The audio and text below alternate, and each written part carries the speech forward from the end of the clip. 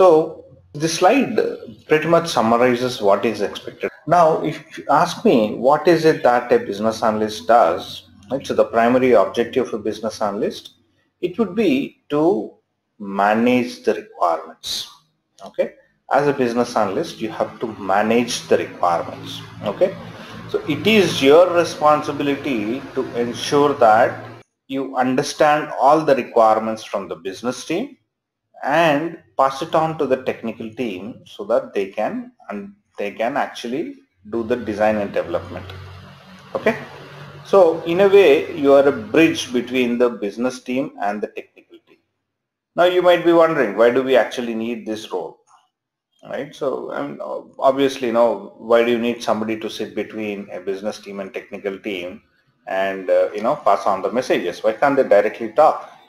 You're sitting there because the teams, both the teams cannot talk to each other.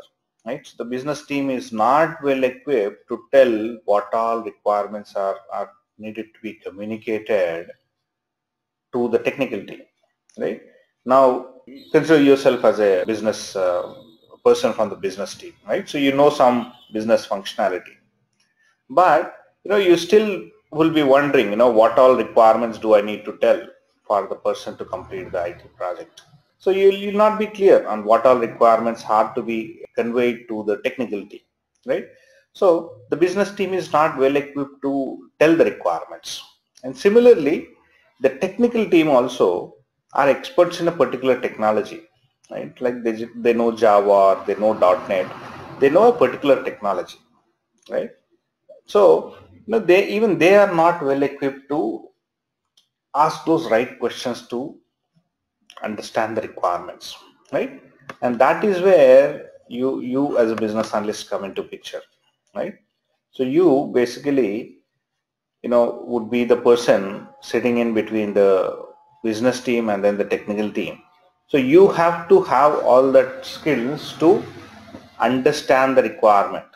So you you go talk to the business team ask those right questions right so you own the requirements. So it is not the responsibility of the business team to tell you the requirements, but it is the responsibility of a business analyst to ask those right questions and ensure that all the requirements are completely captured.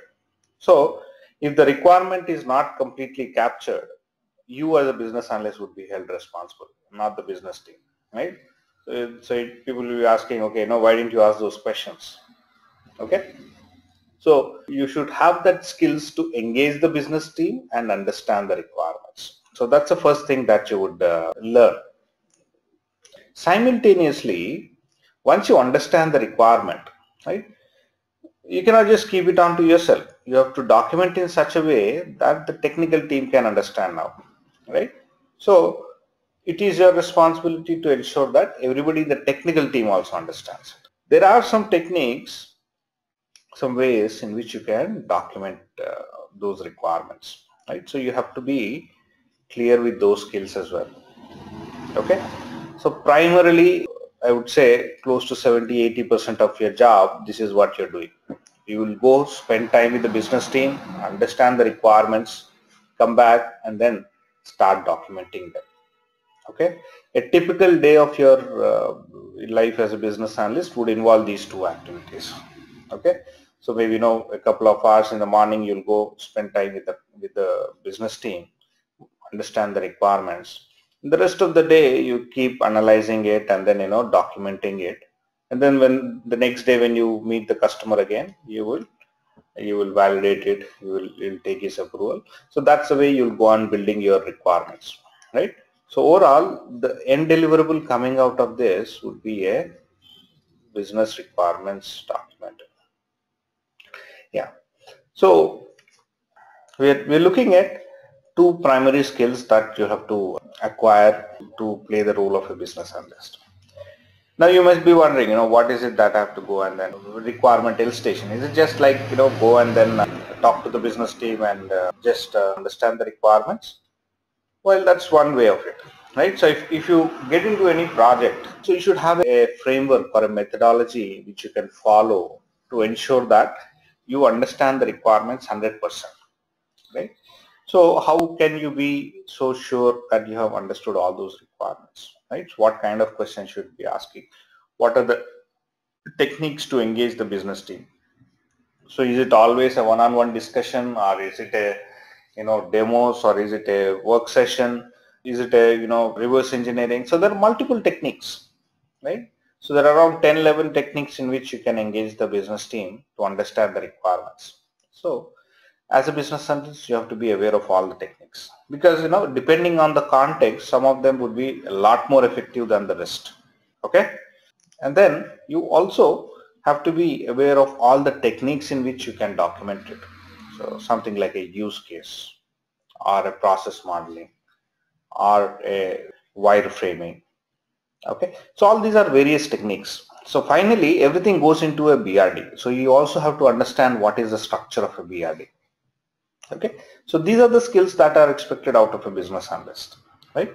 So primarily, you'll understand requirements, you document requirements, right? So to put it in a very simple way, this is what you do as a business analyst. But to perform those simple tasks, you need to have a lot more complex skills like your ability to engage the business team, understand the requirements in multiple uh, ways and techniques, and also analyze the requirements and document it in, in multiple techniques like use cases or user stories or process modeling, right? So we'll look at all of those techniques. Okay? Apart from this you also do a few more things like do the requirements plan. Okay?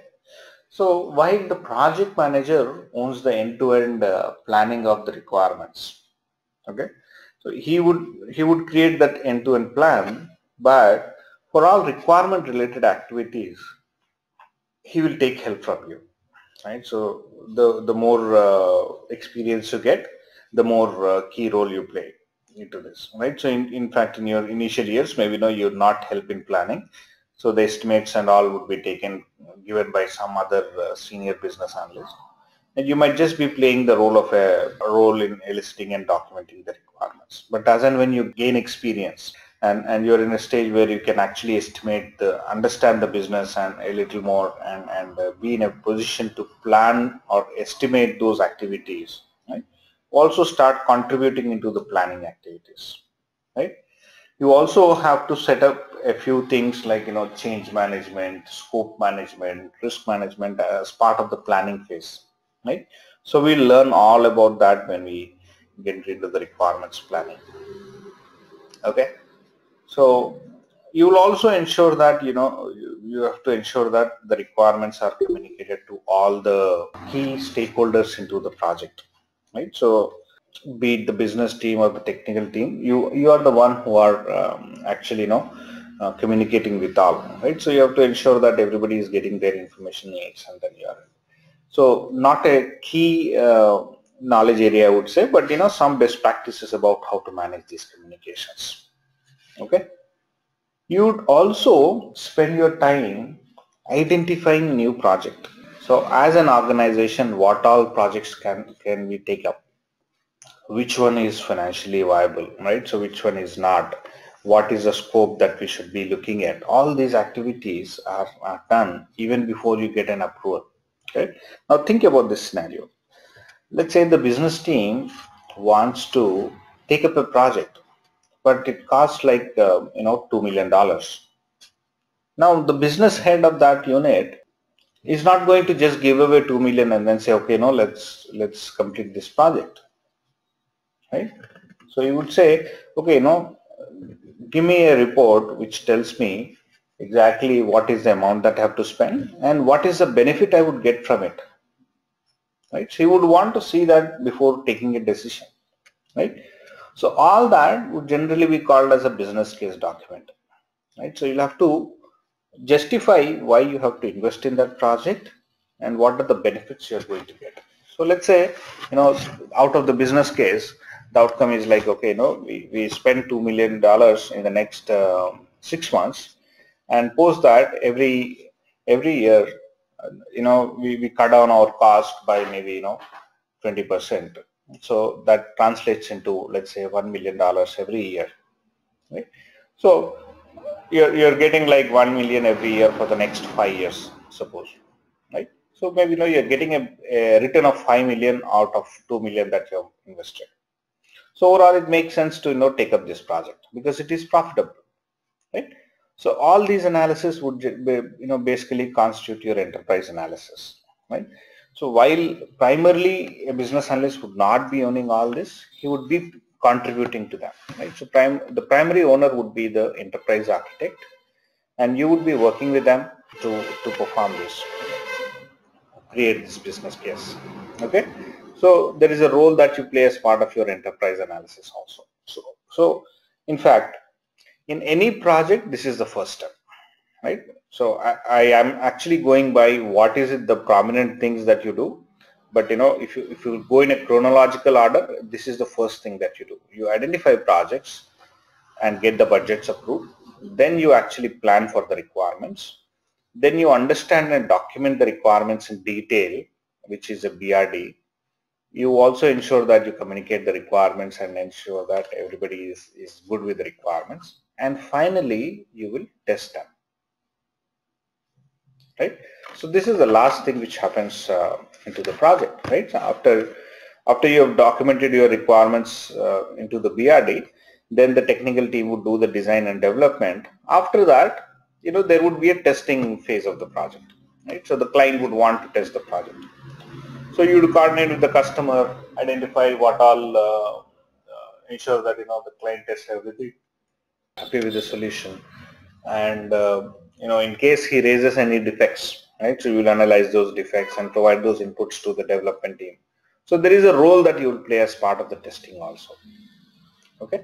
So broadly, as a business analyst, you need to be aware of these six knowledge areas. Okay.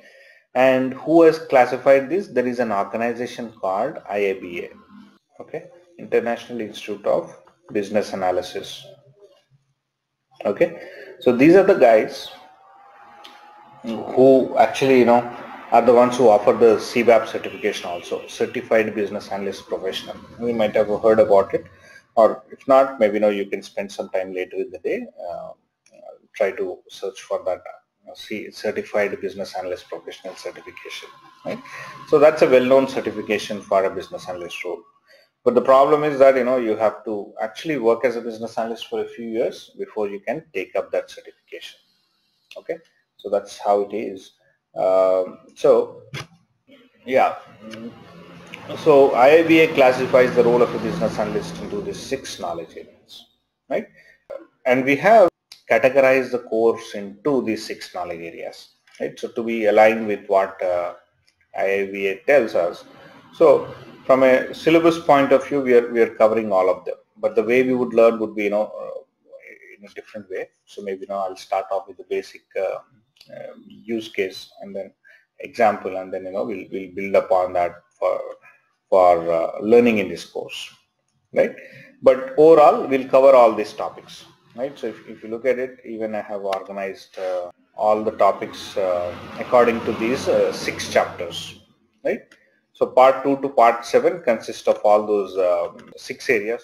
And I have added one more chapter which is a industry overview and what is it that a business analyst does as part of this uh, projects right so like I said I'll be covering those six knowledge areas what we just covered in the, uh, just explained in the in the last two slides and uh, uh, we'll, we'll go into a lot more detail and then you know about each of those topics and in fact the way we would learn it is we'll we'll actually pick up a and then you know we would learn it through that particular project. So it's no theoretical classes that we're going to take, right? So we are first going to spend some time taking up a project. So maybe like something like a mobile banking app or a travel website or a hospital system, right? So the key is that I pick up projects which are easier to understand, right? So you don't want to go for complex projects because, you know, that creates a dependency on the, you know, the subject matters or the business team. So to take it away, we take up simple projects and then we'll go through the complete cycle of how to create the BRD, how to create the test cases, or create the project plans, and uh, you know how to manage the changes. All that we would learn from a particular uh, example, right? So we'll pick up a requirement from from that particular project, and then you know we'll we'll apply it to that and then learn it in that way. So that would be the the way I would be uh, carrying out the training. And the topics that we would cover is um, along with these six knowledge areas what we discussed, I'll spend a few sessions, maybe know, this first two, three sessions on how the industry works. So you'll get a lot more clarity on, you know, who are the key players in a project, right? So who is a project sponsor, who is a, is a solution owner, who is a subject matter expert, and who is a project manager, technical lead, QA lead, then you know you'll also look at who is the operations team. So you know you will broadly know who are all the various players in in uh, in the industry right? When you get into an actual project who are all the various roles that you could meet potentially and what is it what is it that they do in the project right? You'll you'll get that clarity in the initial few sessions. You'll also learn about the various phases of a project right? So now um, you know, we are not just focusing on the requirements part, but uh, you know, what happens after uh, the requirements are completed, right? And who handles that role? And what are the various ways in which the projects could be taken up, right? Now, some projects could be done in waterfall, some could be done in iterative, some could be done in agile uh, scrum model, right? So there are various ways in which you can execute a project, okay? So we'll broadly spend some time understanding those various uh, the project models, right? The SDLC models as we call it as software development lifecycle, SDLC. Okay, software development lifecycle. We'll we'll spend some time learning about the SDLC life cycles, and uh, you know we'll also spend some time on how a project is awarded to a particular vendor, right? So right now, consider this scenario that you know there is a client. Let's say Citibank. Okay. Now Citibank has a project worth let's say $2 million. So whom should it give it to? Should it give it to IBM, Accenture, Infosys? Which organization should, which IT vendor should it give it to? Right? So right now there will be a lot of confusion. Right? So I mean, uh, consider yourself, you're, you're one of those uh, key guys who has to take that decision in, in Citibank of whom to give this project to. Right? So, you know, it's a little unclear to us at this point in time of who should be handling that project or whom should be awarded that project, at what price, right? How should I uh, go about it? So we'll spend some time doing that as well, right? So we'll, we'll, we'll understand what is the process for identifying the vendor and then, you know, how to get the best price out of it. And, and finally, what is the document which comes out of it, which is a contractual document, the statement of work, right? So we learn all about this as part of the industry overview. Okay, this creates a baseline.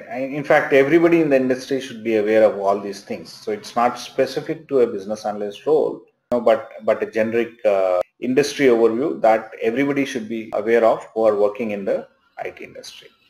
Right.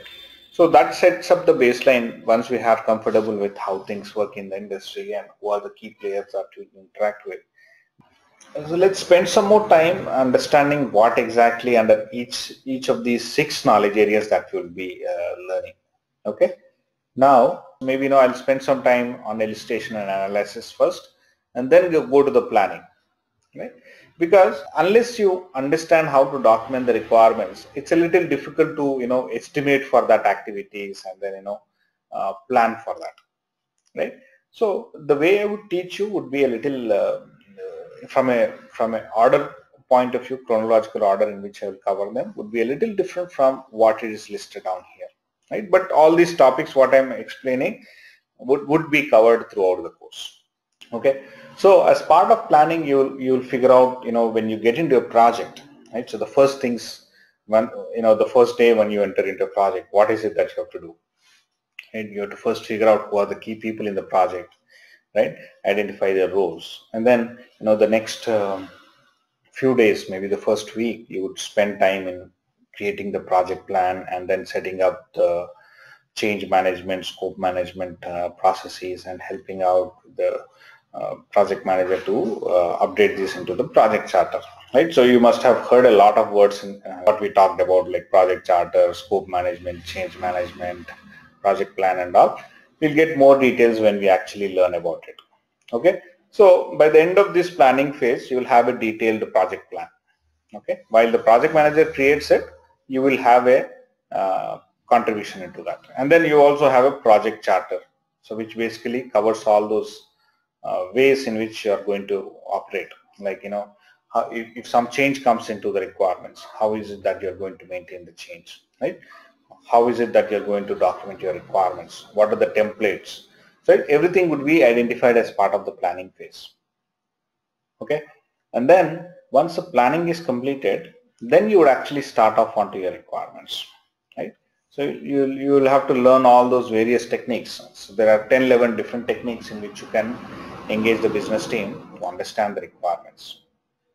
And then you have to document them.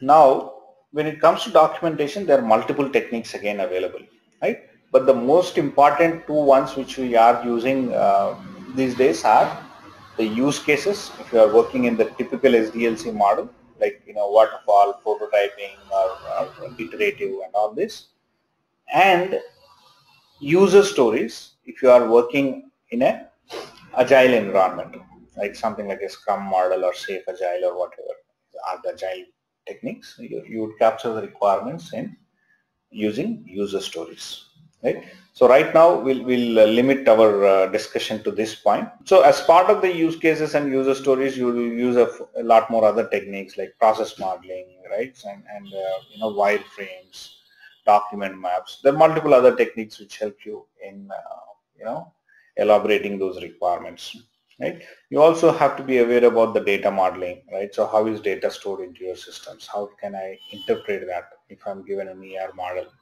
right?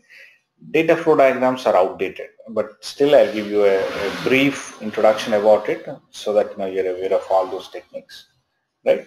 Um, so that's the various techniques in which you can document your requirements. So you'll also learn about communication plan, the various artifacts, modes of communication, all the best practices and all. Then we'll also spend some time learning what is it that you do as part of testing. Right? So we, would also do the system integration testing and user acceptance testing. So what is it that uh, you know you do as part of SIT and then UAT? Right? What is your role? So do you create the test cases or do you you know review them and how do you analyze the defects, right? How do you create a test plan? So we'll, we'll you know get to a level where you can actually perform as a high level QA job as well. Right? So from a functional point of view, again we are looking at all this from a functional testing point of view, right? So there will be other kinds of testing like performance testing, then security testing, right? Availability testing. There are a lot more uh, testing specific activities. We'll not get into that. What we'll be you know focusing on is onto the functional testing. So which means we are testing the functionality of the system. Okay. So what is it that we are expected to do, and and uh, you know what is the overall uh, process for that? We'll we'll spend some time and learn that. Okay and we'll also spend some time on building a business case right so if you just have an idea or how to even identify the ideas for a particular organization, right? So in fact, they have to be aligned to their business strategy and uh, the business goals. So how do you derive from that? So we'll spend some time um, on, on the enterprise analysis activities as well, right? So this is the core topics into the course and along with that we'll we'll do a lot of uh, other topics like you know maybe a session on Visio, a session on uh, SQL, session on you know multiple other topics. I, I think you know once the topics comes over, I'll, I'll explain that to you guys. But uh, broadly, this is how the course is structured, right?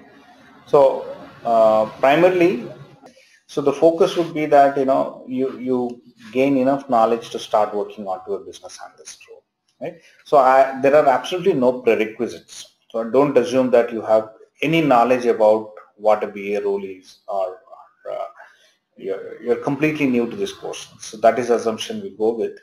So I'll just give you a glimpse of what uh, the training material would look like. Now, uh, you know, you'll have uh, all the presentations. Then there would be a live project, let's say a travel website or a mobile banking, right? So I take up some examples like hotel management software. We can take up one that suits you, right? So we'll start off with a particular scenario in place and then you know we'll build upon how you'll go about as a business analyst capturing the requirements for this particular scenario. So you'll, you'll start off with, with a high level detail something like this. Now you'll have to detail out the requirements. So how do you go about it? So we'll take it as a practical oriented uh, course rather than, you know, some theoretical uh, learning that we'll be doing, right? So we'll pick up a high level uh, example, uh, case study, and then, you know, build upon that, right? So how do you identify the use cases and how do you elaborate them? So all that would be part of the course. Okay. Um, then you also have uh, a lot of additional reading material that you can spend some time on each of those topics, right? So we'll, we'll learn about all those topics, uh, your additional reads.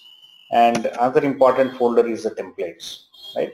Now, if you if you have uh, observed throughout the course, you know whatever we are delivering is mostly a document, right? It could be an Excel or it could be a Word document. Most of the times, it's a Word document, right?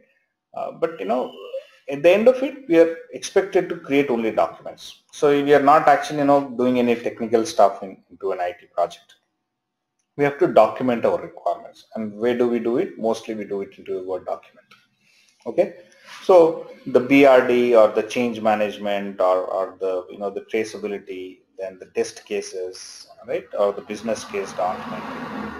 All these are mostly documents. So we'll, we'll spend some time on looking at each of those template as well. I think, you know, let's take a stop over here. And when I start, we'll get into the actual um, course outline. So I'll start off with the industry overview and then uh, the business analyst role, right? So we'll learn about, you know, how a typical client organization is, how an IT vendor organization is, and then what, how are projects uh, awarded to a particular vendor, and then what is a project organization structure? How are the SDLC models? Uh, what are the phases in each of these SDLC models and how are they different? So we'll, we'll spend some time, nice two, three sessions to get this overview. Um, and from there on, we'll uh, focus on to that particular case study driven topics. Okay.